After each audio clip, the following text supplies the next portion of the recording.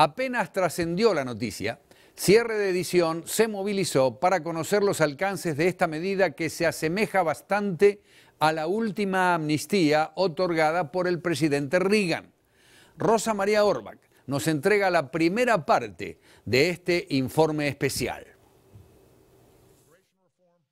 La sola mención de que Barack Obama estaría preparándose con 9 millones de tarjetas, permisos de trabajo para igual número de indocumentados, despertó el entusiasmo de los inmigrantes. Hasta ahora nadie lo sabía, hasta que fue publicado por el periódico digital Breitbart. Para muchos podría ser parte de una futura reforma migratoria o una amnistía.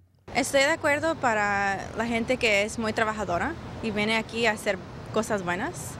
Las alarmas se encendieron cuando el Servicio de Ciudadanía e Inmigración empezó a buscar a empresas para que emitieran 4 millones de tarjetas para los próximos meses y 5 millones adicionales para el 2016. Que es bueno, 100% una, una ley para toda la gente que no tiene papeles porque es bueno para ellos y para el país también.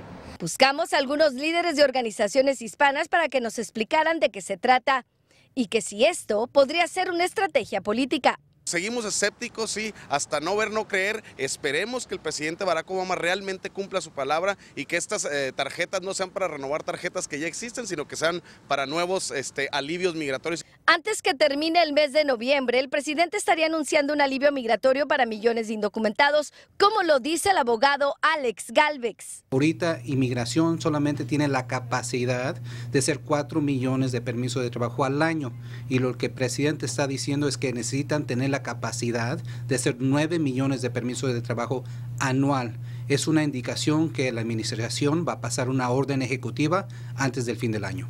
Pues este solo es el principio de lo que se avecina. Cierre de edición estará muy al pendiente de esta información. Desde Los Ángeles, California, soy Rosa María Orbach. Cierre de edición.